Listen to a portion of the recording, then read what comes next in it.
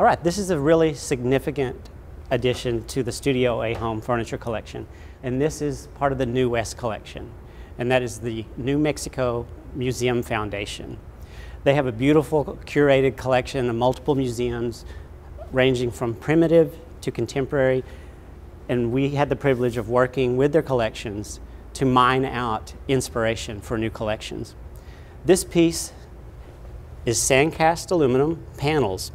There are four designs overall, but the way they are distributed and manipulated in direction, they create this endless pattern, this beautiful primitive patterning.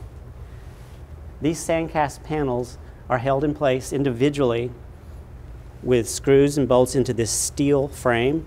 It's a very unique construction. It's very new for Studio A Home, and it's very unique in the industry. This sandcast aluminum with a light wash of black to bring out the detailing.